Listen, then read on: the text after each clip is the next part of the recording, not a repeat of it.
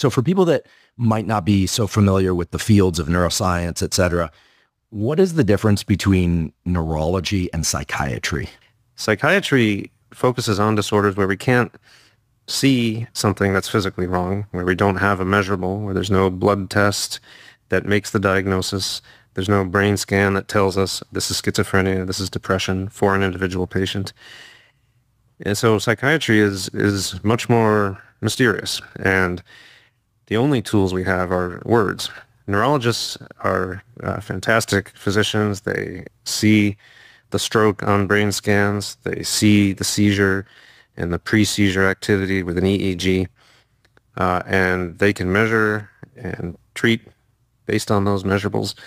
In psychiatry, we have a harder job. We use words. We have rating scales for symptoms. We can measure depression and autism with rating scales, but those are words still.